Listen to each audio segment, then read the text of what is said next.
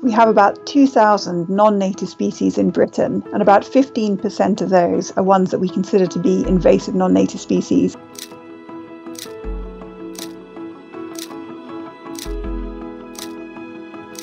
And when they arrive, they cause some kind of problem to biodiversity, ecosystems, society, or the economy.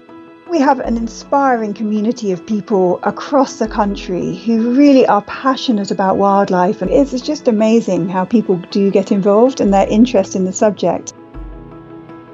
Volunteers are involved in early warning and surveillance for species such as the Asian hornet, but they might be involved also in terms of long term surveys around species such as, for example, the harlequin ladybird.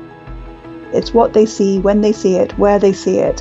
Providing us with that kind of information allows us to build up these huge, large scale, long term databases.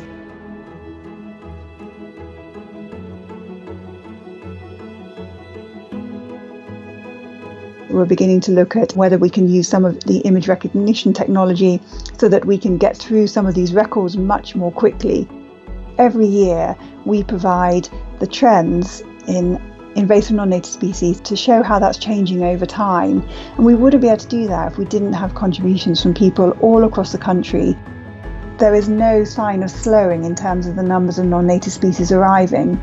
I really think that while collaboration at a global level is extremely important, local action on the ground is also important.